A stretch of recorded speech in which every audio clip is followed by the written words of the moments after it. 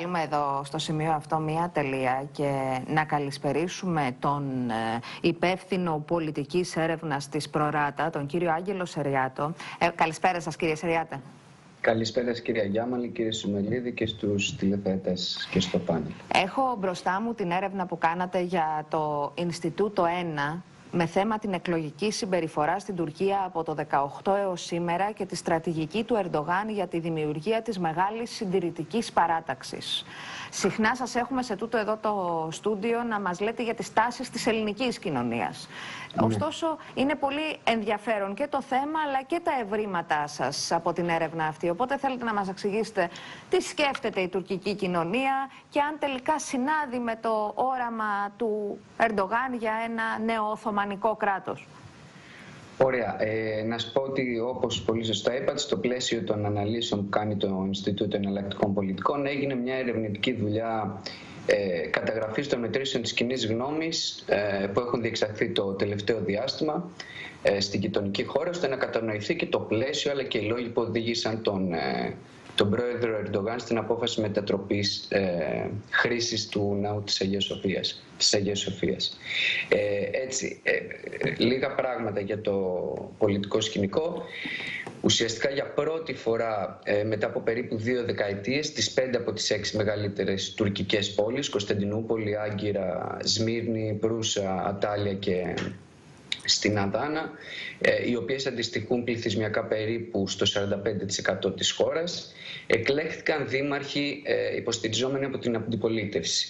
Από το CHP, από το HDP ε, και το φιλελεύθερο κεντροδεξιό ΙΒ.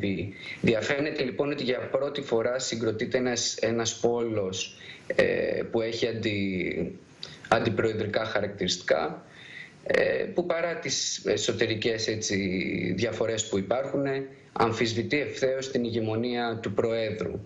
Ε, Δεδομένου των παραπάνω είναι προφανές δηλαδή ότι συγκροτούνται δύο ιδεολογικοπολιτικοί πόλοι.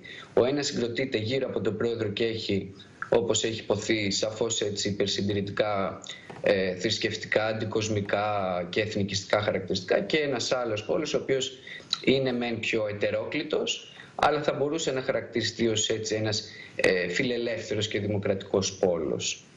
Ε, αυτό είναι το, το σκηνικό. Το ΑΚΠ του κυρίου Ερντοχάν, σύμφωνα με τις μετρήσεις κοινής γνώμης, λαμβάνει το μεγαλύτερο ποσοστό του από ανθρώπους χαμηλότερου μορφωτικού επίπεδου, ε, το οποίο να πούμε ότι είναι και πλειοψηφικό ρεύμα εντός της ε, τουρκικής κοινωνίας. Και πιο φτωχούς, σωστά; Ε, ε, ξανά δεν σας άκουσα. Και πιο φτωχούς, λέω, χαμηλότερης και... οικονομικής επιφάνειας και πιο φτωχούς, ε, όχι ωστόσο ακραίας φτώχειας. Mm. Δηλαδή, ο κύριος Ερντογάν ε, στηρίζεται σε πολίτες μεγαλύτερης ηλικίας, όσων αυτό χαρακτηρίζονται συντηρητικοί, όσων απασχολούνται με τα οικιακά, δηλαδή μεταξύ όσων απασχολούνται στα οικιακά η ψήφος, η στήριξη φτάνει περίπου στο 75%. Συντριπτικό ποσοστό. Βεβαίως, αλλά και αγροτικές περιοχές. Τα υπόλοιπα κόμματα, ο πόλος που λέμε αυτός ο φιλελεύθερος δημοκρατικός πόλος, ε, στηρίζεται από τα τρία αυτά κόμματα της αντιπολίτευσης από νεότερους ανθρώπους, υψηλότερου μορφωτικού επίπεδου, προοδευτικότερους, ε, λιγότερο θρησκευόμενους σαφώς και ανέργων. Και, και στηρίζεται και από ανθρώπους ακραίας φτώχειας. Ε, και σαφώς μειονοτήτων, έτσι, ε, το φιλοκουρδικό ε, Χάντεπε. Μάλιστα. Σπύρο μου. Ναι. ναι. Επομένως, ε, ε, τώρα τι έχουμε, ε, κύριε Σεριάτε; έχουμε μείωση ή σταθεροποίηση της, της δύναμης του Ερντογάν; Γιατί ο Ερντογάν έχει κάνει ε, συνταγματικές αλλαγές, έχει γίνει ο απόλυτος μονάρχης, έχει εξασφαλίσει πολύ χρόνο μπροστά του. Βεβαίως. Και τι είπα. Είδαμε στις δημοτικές εκλογές ότι είχε μεγάλα προβλήματα, κυρίως στην Κωνσταντινούπολη, ναι. αλλά Πού βρισκόμαστε, η εκτίμηση σας ποια είναι ότι έχει σταθεροποιήσει, έχει, έχει βάλει κάποιο πάτο ας πούμε στη δύναμή του ή χάνει ή έχει φθορές συνεχώς; Στην πραγματικότητα, όπως προείπα, ε, και δεν είναι και μόνο η Κωνσταντινούπολη, είναι όπως προείπα και άλλες μεγάλες πόλεις, δηλαδή είναι η Άνκαρα, είναι η, η Ατάλια, είναι η Σμύρνη. Ε, ο, είναι ξεκάθαρο ότι ο Τούρκος πρόεδρος επιχειρεί να τα παίξει όλα για όλα κατά τη γνώμη μου. Δηλαδή είναι η πρώτη φορά ε, μετά τις δημοτικές εκλογές αλλά και τις προεδρικές που αμφισβητείται ευθέως από ένα σχετικά πιο συγκροτημένο μέτωπο η κυριαρχία του.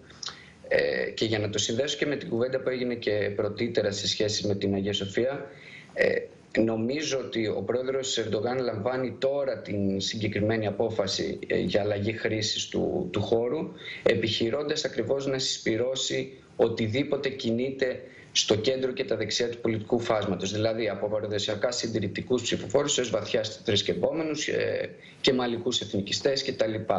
Ε, είναι σαφές ότι εκτιμάει, για να απαντήσω και στο ερώτημα, ότι μετά και τις τοπικές εκλογές ε, και το χάσιμο του ελέγχου των μεγαλύτερων τουρκικών πόλεων θα χρειαστεί ε, τη μεγαλύτερη ε, δυνατή και οριζόντια συσπήρωση αυτού του ιδεολογικού χώρου στον οποίο αναφέρεται, ακριβώς για να μπορέσει να αντικαταστήσει τις απώλειες που έχει από τους νεότερα ψηφο, ε, ηλικιακά ψηφοφόρους. Και επειδή δεν έχει ιδεολογικά ερίσματα, πάει στον σκληρό Ισλαμισμό.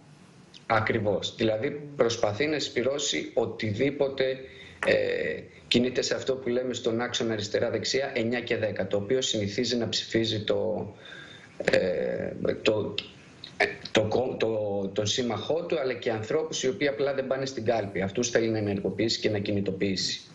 Ωστόσο δεν είναι λίγο ετερόκλητη η προσπάθεια να προσπαθεί να συσπυρώσει από τη μία Ισλαμιστές και από την άλλη εθνικιστές οι οποίοι έχουν διαφορετικές ατζέντες; Ισχύει, ε, ισχύει κυρία Γιάμαλη. Ποιο είναι όμως εδώ το ζήτημα; Α, γι' αυτό ακριβώς και η Αγία Σοφία νομίζω ότι εντάσσεται ε, στη συνολική στρατηγική του γιατί επιτυγχάνει ακριβώς δύο στόχους.